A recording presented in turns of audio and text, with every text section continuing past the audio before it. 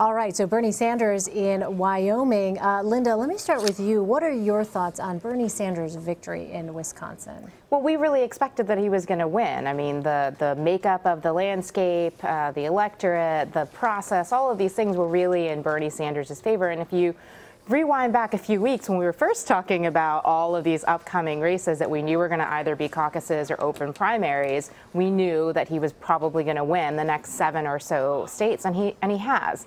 The challenge for him remains that he's not winning these states in huge blowouts, and when you look ahead to the um, the upcoming calendar, the situation doesn't look as great for him, and, and he's just got you know a steeper and steeper hill to climb as time goes on. As you well know, the uh, Caitlin, the enthusiasm behind Senator Sanders has been interesting to watch. We saw a little bit of it there. We've seen it in other places. What do you make of that? Because, for instance, this figure here, young voters, you know, Bernie Sanders once again mm -hmm. demonstrating he has a connection with younger voters. Mm -hmm, right. I think the momentum for Sanders, he's not, you know, keeping pace with the delegates, and that's, you know, strategically, practically, all these reasons uh, why they're a challenge for him. But I do think the momentum for him is important because it keeps him in this race, and that means that this race keeps going, and that Hillary Clinton is not yet able to officially turn over to focus on the Republicans. It's completely understandable, understandable why, why the Clinton campaign wants to put this away, because look at what's happening on the Republican side.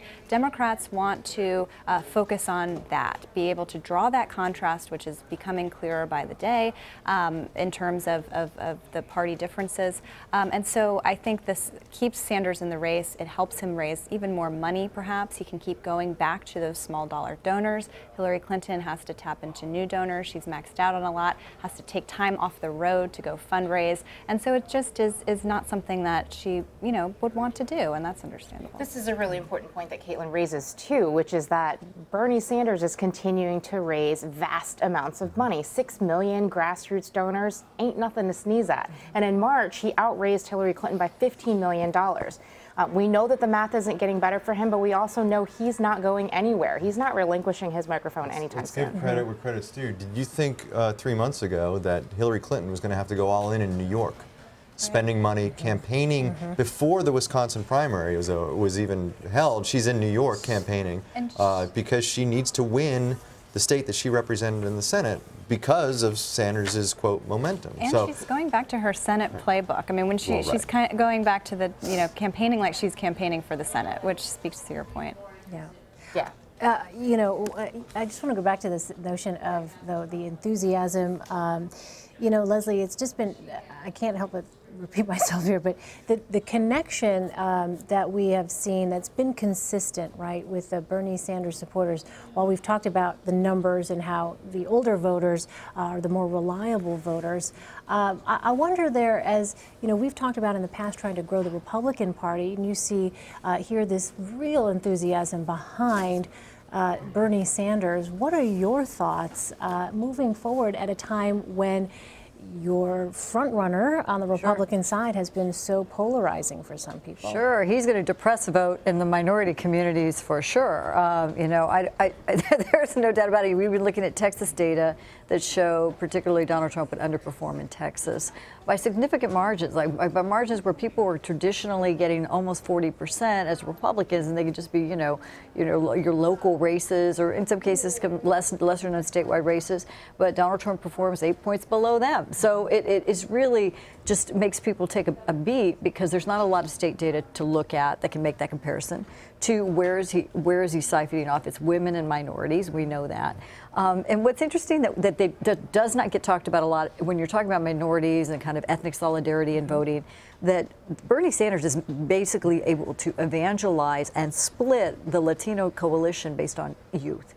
He's mm-hmm. getting a lot of Latino youth. So the the older Latinos are going with Hillary Huge Clinton. demographic. Exactly, massive, and they're growing 50,000 really new critical demographic if you don't get that vote. But the Democrats never thought that they would split within the party. Now they may eventually come back in, right, because they overwhelmingly get Hispanic vote. But to see younger voters not want to get behind Hillary Clinton is a problem. It is a significant problem. It doesn't get talked about enough. For Republicans, we're just like to get out of the 25 percentile. We should be in the 40 percentile in terms of support. So uh, where it's going to land, nobody knows. It's going to depend on the nominee. It's too, too early to tell. Uh, I think the positive lining here is you still have a lot of minority Republican candidates who are not uh, in majority minority states. Like we're still winning and winning in statewide offices. So Republicans are winning in candidates. We're not winning in popular vote. And um, that's going to be something that's going to take at least 10 years to correct. Um, Steve, uh, let me ask you on the Democratic side here. Um, when you are uh, looking at, we've talked about enthusiasm, we talked about young people, um, but you're looking at some of the potential vulnerabilities here We've talked about honest and trustworthiness, but are there ways in which Bernie Sanders' continued campaign is actually making Hillary Clinton a better candidate? The rhetoric, some of the um, themes that she's chosen to focus on, the ways in which she has um, gotten her finger on the pulse of what it is that Democratic voters want. Have we seen her change and perhaps sharpen some of her uh, rhetoric with Bernie Sanders continuing to be in the campaign? Yes. So I think in, uh, on one hand, uh, there's a sense that when she doesn't have real competition, that she sort of gets in, she sort of starts to coast, and she doesn't become as sharp uh, as a campaigner and as a candidate. The problem with Sanders still being in the race is he is forcing her to take positions uh, that are further to the left uh, than she normally would take if she was just worried about the general election at this point. Let's look at minimum wage, for instance. Now, minimum wage, uh, big issue in states like California, New York, blue states, great. She's all in, $15 an hour. Uh, it's not something that she was talking a lot about until the states passed those, those laws, but now she's a big fan of it. Now she's going to have to answer for that in a general election scenario, and there are going to be states, uh, purple states and red states, that might not agree with her on that $15 an hour min minimum wage for whatever reason. And how is she going to square that, right? Uh, that's just the most latest. That's just the latest example of an issue that Sanders has pushed her further to the left. on. so the longer he's in this race, the further left she's going to have to go in order to keep up with him or to beat or to, or to beat him. And I think. Uh, you know, the more polarizing you get, whether it's on the Democratic side or the Republican side, and we've already, happens very early in the Republican primaries. It seems to have been the case the last several uh, primary uh, contests for Republicans you get so polarized that to try to come back to the middle and appeal to uh, a general electorate becomes that much more difficult. Now, so I think in this case, the earlier Sanders gets out for her is is going to be better for her in the long run. Uh, if she ultimately is the nominee. You wanted to weigh in? Sure. Leslie? I think when we're talking about New York, I think a really interesting phenomenon is you have a lot of disaffected and frustrated Democratic voters in the western part of the state. When you talk about everything from Rochester to Syracuse, she went and went, um, ran. When you're talking about her Senate campaign, I'm going to revitalize this area. I'm going to use my prowess as FLOTUS, you know, as, as a former first lady, to come in and really revitalize this part uh, because of the trade deals that went wrong, you know, and didn't really revitalize this part of the state. And none of that transpired. So there's a lot of angst and anxiety in that part of the state that she's going to really have to make up for. Yeah, what about that? What do you think about that, Linda? I mean, is that perhaps an area where that could be a trouble spot for her? Well, I mean, specifically on the trade issue, I mean, this speaks to what Steve, the point that Steve was making earlier. I mean, we know that when she was Secretary of State, she called the Trans Pacific Partnership the gold standard. And because of this engagement with Bernie Sanders, she has since clarified her position on it to be, well, you know, it needed to meet these bars for me, and it really hasn't, so I don't support it. And so, I mean, I think that that's definitely significant movement that you definitely wouldn't have seen otherwise if Bernie Sanders weren't in the race. That said, it feels like some of these larger issues, whether it's about minimum wage or trade, are things that are already out there. So I'm not sure that him continuing to talk about it is going to change the dynamics that dramatically. I think the bigger issue is what Caitlin said earlier, which is the longer he's in it, the less time she has to pivot towards the general, to focus on fundraising for the general, to start to really build the operation that's going to need to be different than the operation in the primary. Well, and let's look at a perfect example. She's going to fundraise for the general at George Clooney's house, which she's going to raise $350,000 a head, which that's just the way the, the, the this is set up this year. Yet who's hammering her on that? Right. Bernie Sanders. That's so she's right. trying to actually look ahead and actually raise money for the general election, and he's not letting her. And th that again gets in her way. Uh, if uh, you know ultimately she is the nominee, she's got this uh, uh, uh, you know on her thorn in her side, if you want to call it that. Which you know I'm not trying to diminish what Bernie Sanders is doing. I'm going to get yelled at on Twitter, but I, Sanders is there and he's making points that are resonating with a lot of voters.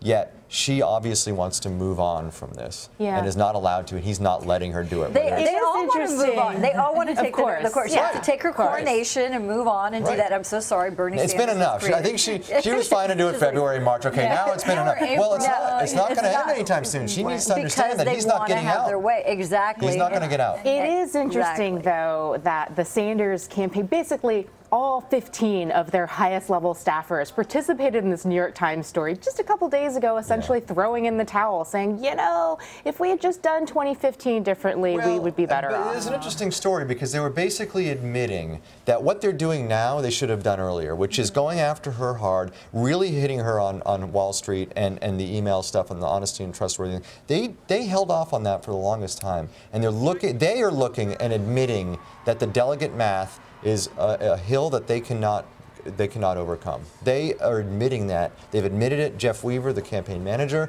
has said we're taking this to the, to the convention and we're going to flip super delegates, basically because they can't get the, the pledge delegate number. And that you listen to all these people in that article, and they're all basically saying we should have done X, Y, and Z earlier. Because if we did that earlier, we would have won more states, or we would have had a better, done a better job in terms of picking up delegates earlier on, and this would have been a much closer contest now. That was admitted in the New York Times. Right, so which, we can get yelled at by Sanders supporters, but his own people were on the record in the New York Times saying this basically. Yeah, that's week. right. I mean, by the way, what they're saying might actually be true. I mean, the numbers might be different at this point in the calendar had they done things differently, had Bernie Sanders Had he not chosen to do ceded the email things. issue in that debate last year, which was Right. a pivotal moment, Right. and I remember watching that moment and saying, "This is it. He can't talk about emails anymore. He's just taking it off the table."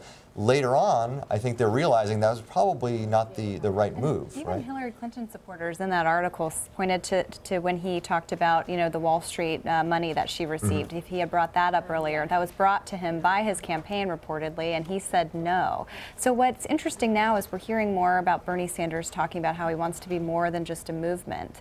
Um, he wants to be uh, the nominee, um, and so that's going to just keep him in this race for as long as he can. And we saw her react to uh, the stuff about, um, uh, uh, you know, funding of her, her super PAC accepting money from um, uh, fossil fuel industry and all of that. We saw her react to that. Um, if Bernie Sanders continues these kinds of attacks, you know, that she also risks um, just getting, you know, visibly tired of it. You know, I mean, it, it you know, just- it's true because you're talking about uh, the movement, and I see I've gotten my own tweets, you know, and, and uh, you know where the movement is coming, and they they, could, they just remind me, thank you, you know who you all are. But um, there you go, all the hashtag Bernie Sanders. But the but the, the the interesting part about that whole thing is. Is now he's saying, yeah, the phone is exploding. Now they're saying uh, we can be the nominee, right? Before it was just kind of That's this right. thing. We're going to change candidate. and go protest candidate. We're going to change the platform. We're going to you know, make our points known and income inequality. Now, wait a minute. Now we can be the nominee. So all of these individuals are getting those tweets and those texts and you know the, the fundraising apparatus that's saying let's do that. And I and I always go back to this point that hope dies last. Uh, the hope is an uprising, right? As long as there is hope among the individuals who support Bernie Sanders, who fundamentally believe that is now their new target getting squashing that is going to be extremely difficult because now they're changing the tactics in terms of how much harder they're willing to work. I, I do think it was like the thing that was most stunning to me about that article, though, was not just all the blind quotes from the senior leadership and whatnot, but some of the on the record quotes where essentially his top advisors are just throwing him under the bus. Hmm. If you'd only listened to me, we would be better off right It was, now. it was a It's post-mortem insane. about something that it's not, not dead yet. yet. It's not dead It's yet. not In yet. fact, it's very, very much alive. Right. Yet there was a post-mortem. Exactly. right.